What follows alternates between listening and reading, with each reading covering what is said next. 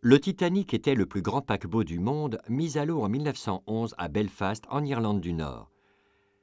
Il a entrepris sa traversée inaugurale au départ de Southampton, en Angleterre, le 10 avril 1912, sous le commandement du capitaine Edward Smith, et se dirigeait vers New York, aux États-Unis. Plus de 2000 passagers étaient à bord et le paquebot était très luxueusement aménagé, avec même l'éclairage électrique. En outre, deux opérateurs radio Marconi transmettaient des messages à l'intention des passagers. Les opérateurs radio étaient Jack Phillips et Harold Bride.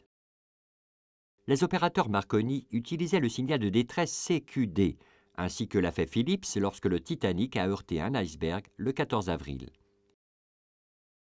Or, à sa conférence radiotélégraphique internationale de 1906, l'UIT avait fait adopter le signal de détresse SOS. Après un certain temps, Bride a proposé à Phillips d'utiliser aussi cet autre signal.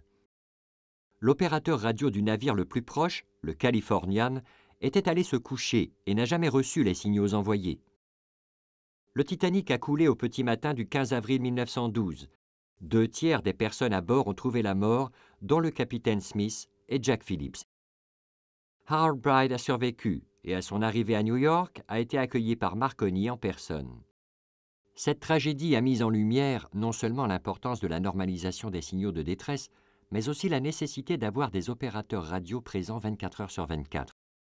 Cette règle a été entérinée quelques mois plus tard à la conférence radiotélégraphique internationale de 1912, organisée par l'UIT, et les navires ont eu pour consigne de maintenir des plages de silence radio à des heures précises pour pouvoir écouter les appels de détresse.